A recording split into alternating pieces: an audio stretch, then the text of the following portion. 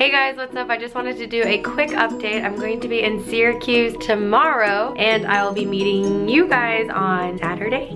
2 p.m. Check the link below for all the details and I'm so happy to come meet with you guys, hang out, chat. It's gonna be a really fun talk so please come out and hang out with me Saturday afternoon if you're not too busy.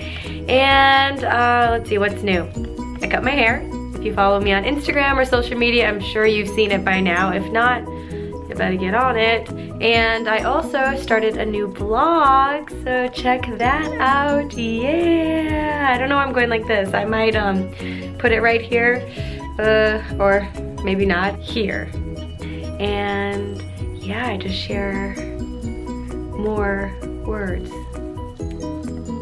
But yeah, I, I share stuff on it if you guys want and you like to read. Stay connected. Let's see, what else is there? Oh, my little brother is all grown up. His episode of Chicago Med airs tonight. So I'm so proud of him.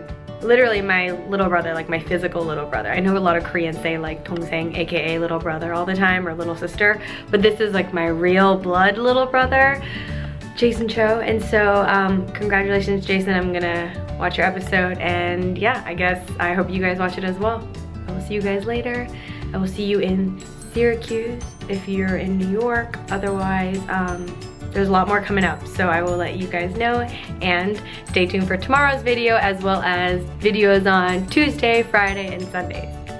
And make sure to subscribe right here.